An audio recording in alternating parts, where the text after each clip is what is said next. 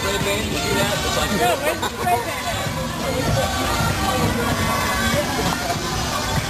Where do you guys get these brilliant ideas from?